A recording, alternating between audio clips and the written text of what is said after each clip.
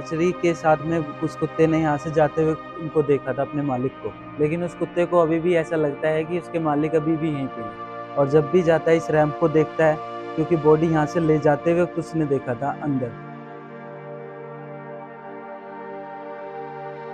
यहाँ पे ये चार महीने पहले एक पेशेंट आए थे तो उनके साथ एक कुत्ता आया था डॉग तो वो उनकी डेथ हो गई यहाँ पे और फिर वो ये मॉर्चरी है, यहाँ पे मॉर्चरी का गेट है। तो मॉर्चरी के साथ में कुछ कुत्ते ने यहाँ से जाते हुए उनको देखा था अपने मालिक को। और उसे ऐसा लगता है कि वो, उनकी डेथ हो गई और मॉर्चरी का गेट एक बाहर की तरफ़ भी है। तो बॉडी को उधर से ले जा, ले जाया गया चार महीने पहले। लेकिन उस कुत्ते को अभी भी ऐसा लगता है कि उसके मालिक अभी भी यहीं पे हैं। तो वो यहीं पे ही घूमता है, यहीं रहता है, यहीं खाता है, यहीं सोता है, यहाँ से बाहर नहीं जाता है। और जब भी जाता है इस रैम्प को देखता है, क्योंकि बॉडी यहाँ से ले जाते वक्त उसने देखा था अंदर। ये गेट बंद हो जाता है, जब कोई बॉडी आती है, तभी खुलता है।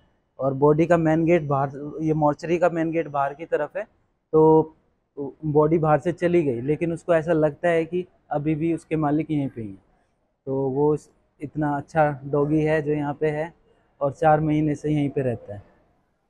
यहीं आता है, यहीं खाता है, सब कुछ यहीं करता है।